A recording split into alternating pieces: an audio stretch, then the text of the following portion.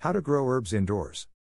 Many kitchen gardeners love the convenience of fresh herbs at home, and what could be more convenient than an indoor herb garden?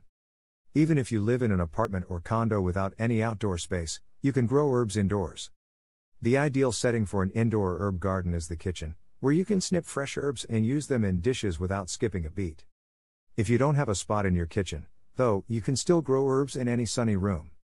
And to increase your chances of success, be sure to start with strong young herbs from Bonnie plants, which are grown near where you live by a company with over a century of growing experience. They're also already well on their way to maturity, meaning you're that much closer to your first tasty harvest. Before going into the video, we've just printed more copies of what is probably the best plant medicine book ever written, The Lost Book of Herbal Remedies.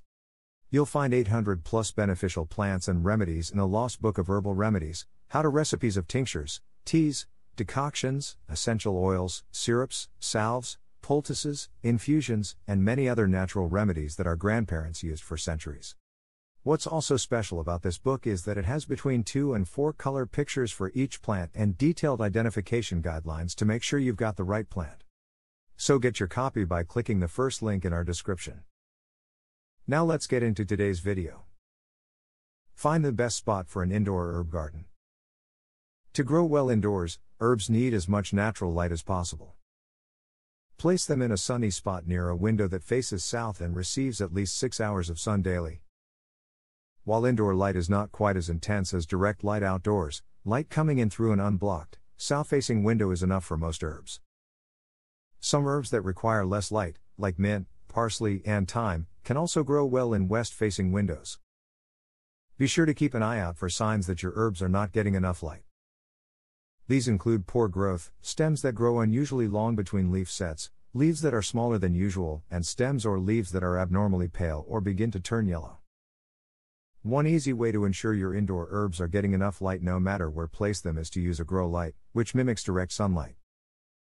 This is a great solution when you're short on southern exposure window space.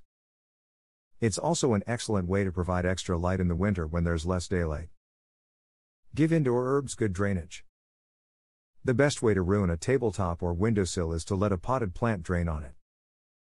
Likewise, the best way to ruin most herbs is to let them sit in water so the roots will rot.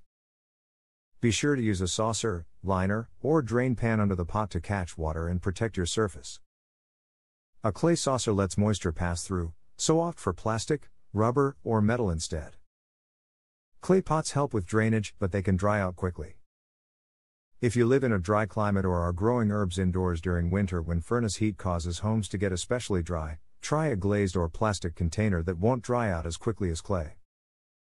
Use a premium potting mix, such as Miracle-Gro Indoor Potting Mix, to pot your indoor herbs. And by all means, be sure your pots have drainage holes. Indoor herbs are happy with typical indoor temperatures. Many cooks grow herbs indoors during the winter when it's too cold outside or too wet to dig in the dirt, but you can grow herbs inside any time of year. Indoor herbs prefer the same temperatures that most people do, around 65 to 70 degrees Fahrenheit, so if you're comfortable, they probably are. At night, temperatures near a window may drop to 55 or 60, but most herbs like that, too. Keep foliage from touching the glass to protect from getting nipped by cold. Basil is trickier. Many kitchen gardeners yearn for basil in their indoor garden. If you have plenty of sun and warmth indoors, basil should thrive, but don't keep it on a cool windowsill. Basil leaves will droop and fade after a short time in cool air. It prefers indoor temperatures in the 70s day and night. Remember that the air next to a window will be cooler in winter or hotter in summer than your average indoor temperature, so adjust your plans accordingly. Dry air, whether from air conditioning or heating, is hard on most herbs, so you may want to consider increasing the surrounding humidity. Indoor herb plants will probably stretch and be spindlier than plants in the outdoors, but they will still give you plenty of fresh clippings. To encourage lots of growth, fertilize regularly with plant food, such as Miracle-Gro water soluble plant food for vegetables and herbs, especially if you are harvesting leaves regularly. Be sure to follow directions. Grow in water. One easy way to grow herbs indoors is to grow them in a water based, aka hydroponic, system. Your plants grow directly in water or a soilless medium, so moisture and nutrients are delivered directly to plant roots, and a grow light provides all of the sunlight needed by the plants. The Miracle-Gro 12 indoor growing system is a great choice for growing herbs, as it's easy to use, doubles as an attractive end table, and can be managed from your smartphone.